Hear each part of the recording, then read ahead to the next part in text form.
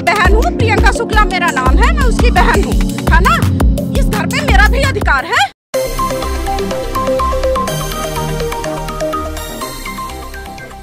स्वागत है आप सभी का एसएस एस न्यूज़ में, मैं आपके साथ मुस्कान। एक शर्मसार करने वाला वीडियो सामने आने के बाद मध्य प्रदेश समेत हर जगह बवाल मच गया। सब इस वीडियो को देखने के बाद बीजेपी के नेता से मानो जैसे नफरत ही करने लगे। दरअसल, एक आदिवासी शख्स पर बीजेपी के लुच्चा नेता ने पेशाब कर दी थी, जिसे देखकर काफ़ी लोग आक्रोश में आ गए थे।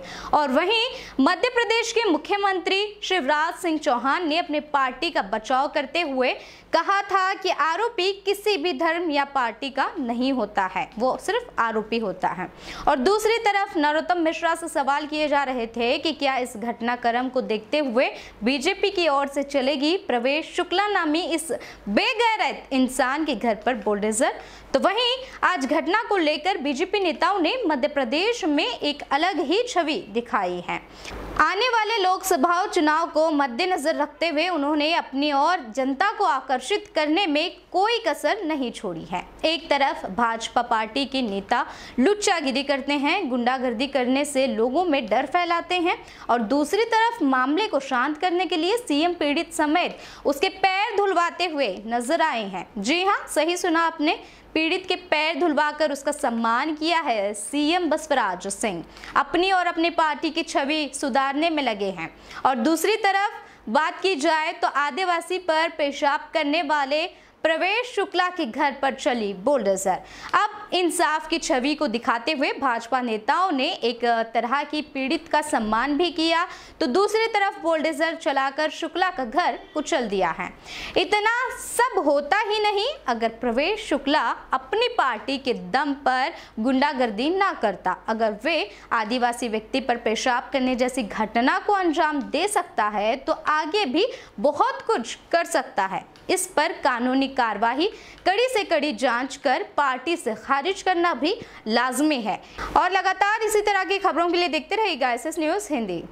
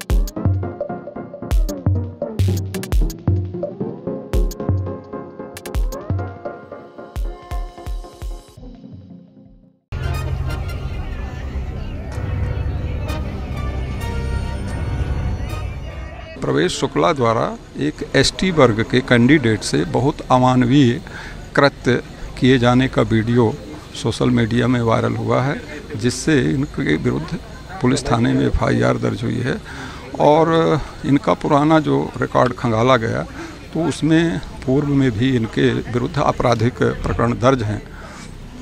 इनके ज़मीन की वैधता की जाँच कराई गई, मकान निर्माण की तो पाया गया कि इनका एक बटे तीन भाग अवैध निर्मित है तो वही शासन के निर्देशानुसार इनके मकान का अवैध निर्माण हटाने की कार्रवाई की जा रही है।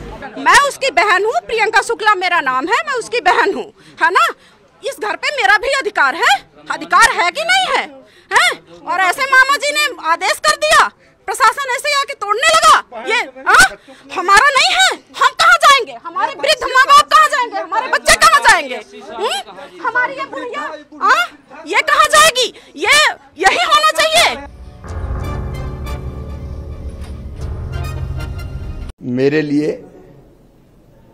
दरिद्र ही नारायण हैं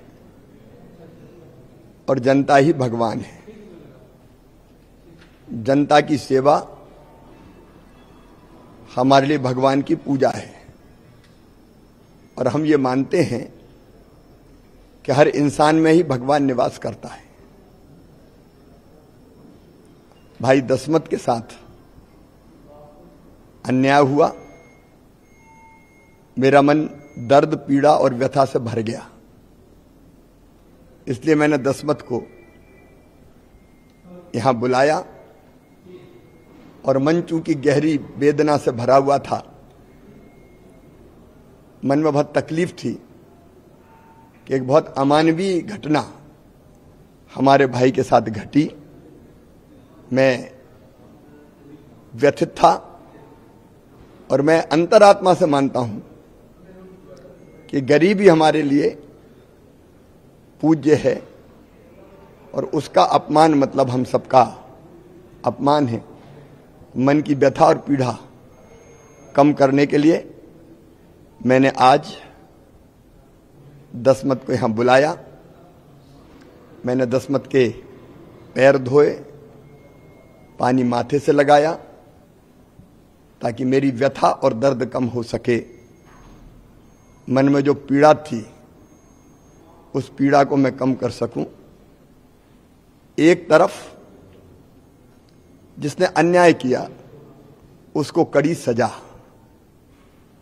और जो अपराध करता है, अन्याय करता है, उसका कोई धर्म नहीं होता, कोई जाति नहीं होती, कोई पार्टी नहीं होती।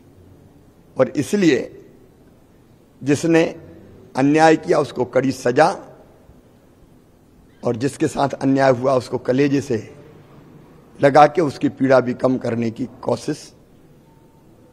मैं प्रदेशवासियों से भी अपील करना चाहता एस एस न्यूज़ से जुड़े हर लेटेस्ट जानकारी के लिए हमारे YouTube channel S S news को सब्सक्राइब करें। सबसे पहले न्यूज़ देखने के लिए बेल आइकन पर प्रेस करना बिल्कुल भी ना भूलें। अगर इस चैनल से जुड़े हर नए मुद्दे आपको पसंद आए, हमारे वीडियोस को लाइक और शेयर ज़रूर करें। और लगातार अपडेट के लिए देखते रहिए एस एस न्यूज़।